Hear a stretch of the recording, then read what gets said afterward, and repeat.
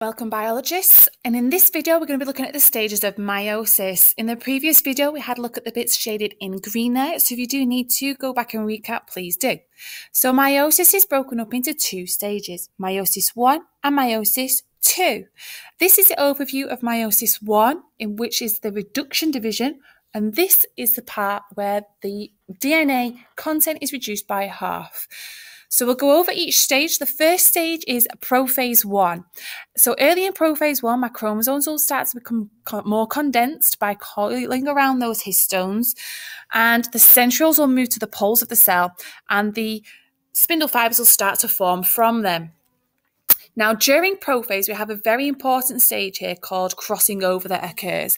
So, at this point, what happens is um, my homologous pairs of chromosomes will form bivalents, whereby they'll pair up together.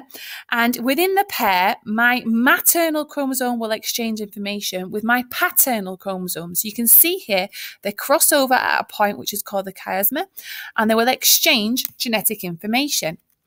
So as you can see here, this is where there's no crossing over going on. But here you can see at the bottom here, crossing over has caused genetic variation. So crossing over is very, very important at helping to create genetic variation within my gametes.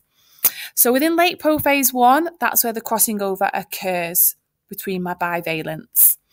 Metaphase one, this is where my bivalents will line up along the equator of the cell and the spindle fibers will attach to the centromeres.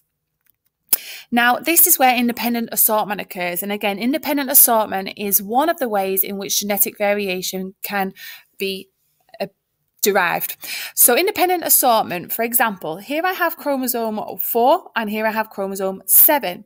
Now in this particular image here, you can see that chromosome 4 has been arranged this way and chromosome 7 has been arranged this way. Where if you look at this diagram here, my chromosome 7s have aligned up differently. They've, it's Independent assortment is to do with the random arrangement of chromosomes along the equator. Now, if you look at the gametes that are made as a result from these different ways in which the gam- these chromosomes line up along the equator, these gametes here are different from these game- gametes here.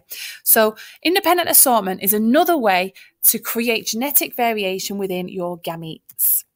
Now, there are two ways in which chromosomes can line up along the equator, and there are 23 pairs of chromosomes within a human. Therefore, there are 2 to the power 28, which is more than 8 million possible ways in which these chromosomes can arrange themselves along the equator. This is why your eggs and your sperm, yes, they'll be very similar, but it's very, very unlikely that you're going to get one that's genetically identical to each other. So the next phase is anaphase one, and this is where the bivalents are pulled apart by the spindle fibers contracting, pulling the chromosomes to the opposite poles of the cell. Now this is a step that halves the genetic information within the cells.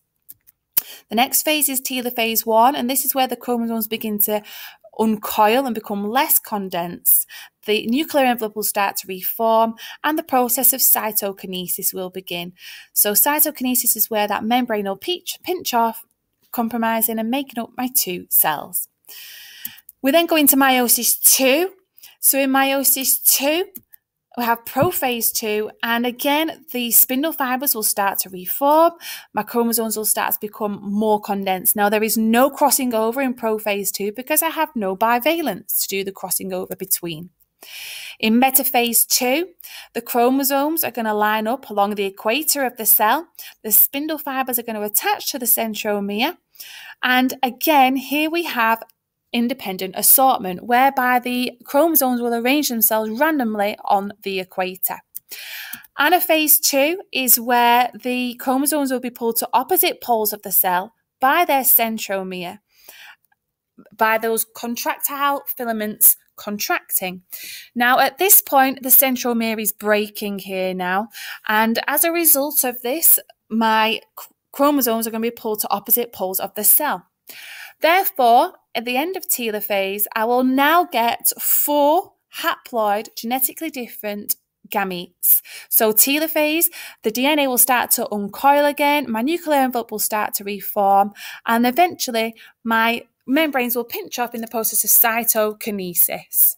So there you have it. That is the stages of meiosis involving all of the stages involved and what crossing over and independent assortment can do to give rise to genetic variation.